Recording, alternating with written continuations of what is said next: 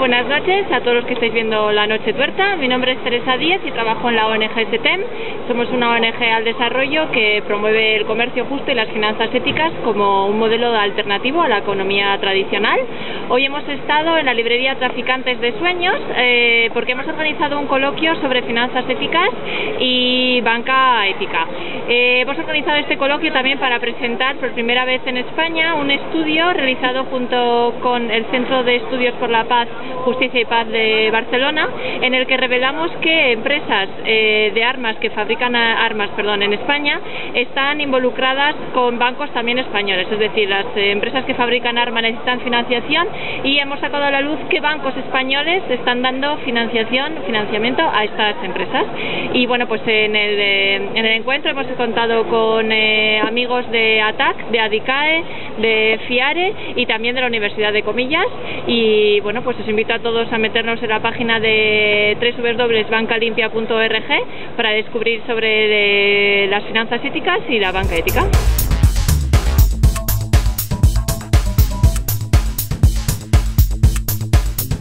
Hola, soy Carlos Cuesta de ATAC y estamos aquí en la mesa redonda que ha organizado SETEN en Traficantes de Sueños para hablar de la banca, de su relación con la crisis y su relación principalmente con, las con la industria armamentística y cuáles son las diferentes opciones que tenemos respecto a esta banca que estamos sufriendo ahora.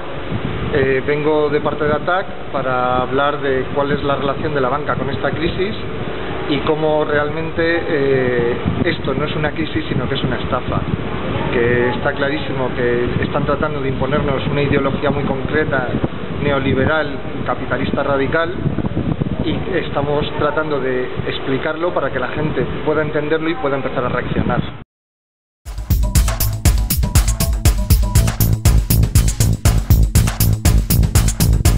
Eh, como dijo hace ya tiempo José Luis San Pedro, el capitalismo nos ha dado unos niveles de prosperidad increíbles, pero ya no vale, ya no funciona en un mundo globalizado.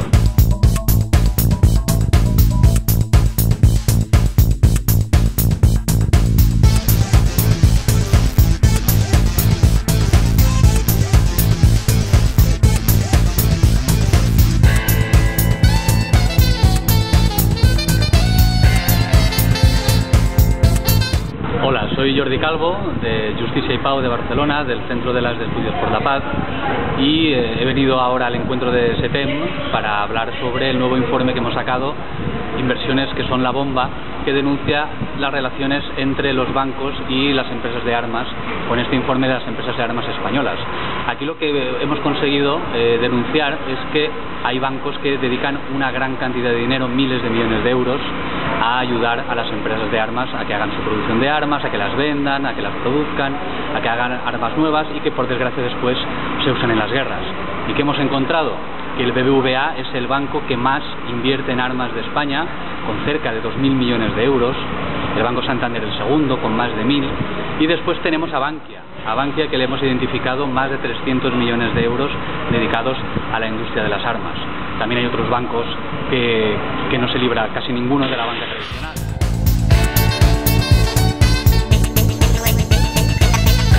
Entonces, como vemos que toda la banca tradicional prácticamente invierte en armas, la única opción para estar tranquilos de que nuestro dinero, que al final es el que usan para invertir en armas, eh, que no irá a parar al complejo militar industrial, es invertir en banca ética. Es la única, la única alternativa que nos queda.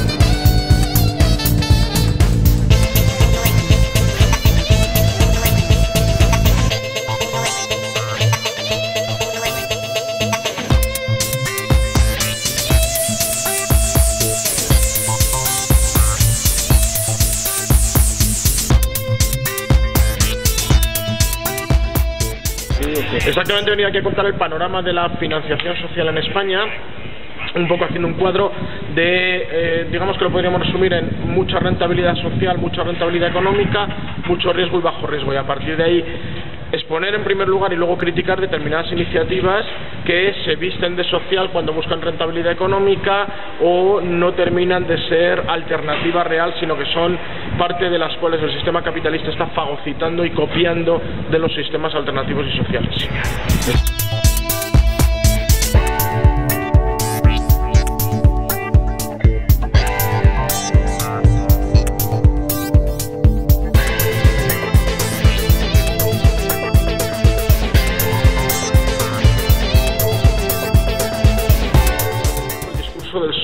Naomi Klein cuando dice que en momentos de shock es cuando se aprovecha para cambiar y destruir todo un sistema de eh, beneficios sociales, de bienestar, de lo público. Bueno, pues ahora con la excusa de que hay crisis desmonto todo el sistema público y yo me pregunto, ¿y cuando acabe la crisis, es que acaba alguna vez, qué pasará? ¿Dónde quedará la educación? Porque ahora recortan educación, sanidad, eh, servicios sociales, nos lo recortan con la excusa de que no hay dinero. Y si alguna vez vuelve a haber dinero, ¿volveremos a subir o ya dirán, aquí nos quedamos con el sistema? Por eso digo yo que es una estafa, que es una construcción que le interesa al gobierno, que le interesa a las grandes empresas, eh, lo he dicho antes, en, en, la intervención. En España, entre el año 2010 y el año 2011, el 25%, eh, perdón, el sector del lujo ha crecido en un 25%. ¿eh? Y a pesar de eso, dicen que están en crisis y dicen que estamos en crisis y hay recortes, etcétera, etcétera. Quien dice el sector del lujo dice otros sectores. Entonces yo sí creo que es un poco una estafa.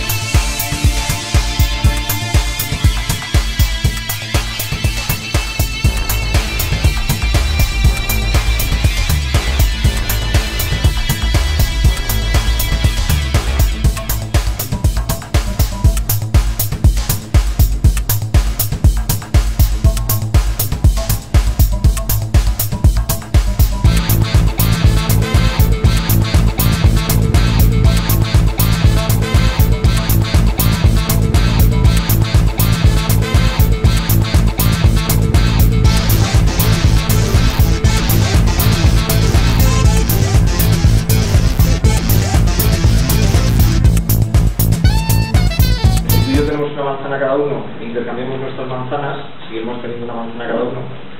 Pero si tenemos una idea cada uno, e intercambiamos nuestras ideas, tendremos dos ideas cada uno.